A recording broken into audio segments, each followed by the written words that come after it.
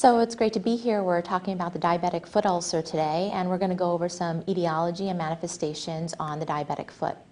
So if we look at the diabetes in and of itself, it's the fastest growing disease in the United States. We're looking at this being not just an epidemic, but a pandemic of unbelievable proportions. We look at diabetes and we see the diagnosis among adults, especially the age-adjusted percentage comparisons between 2000 and 2010. And you can see on the right here where we have that scale of increase in the prevalence and incidence of diabetes throughout the country. And you can see that it's more concentrated on the East Coast rather than the the West Coast. This doesn't even take into account the actual pre-diabetes prevalence that we're seeing.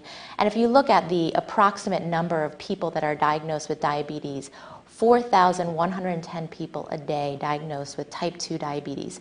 It's pretty incredible, and that's why we're here talking about the diabetic foot and the ulcers and manifestations. So let's look at some statistics on diabetic foot and the diabetic foot ulcer risk.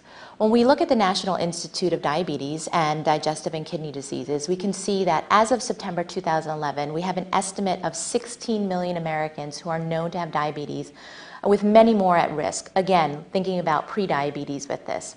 The diabetic foot lesions are responsible for more than uh, the hospitalizations and any other complications of diabetes. So looking at how diabetes really impacts the, the body, the systems, and then realizing that the diabetic foot and the ulcers that arise from the diabetic foot being the high risk of com complications and hospitalizations is pretty just uh, you know, unbelievable and something that we really need to take note on.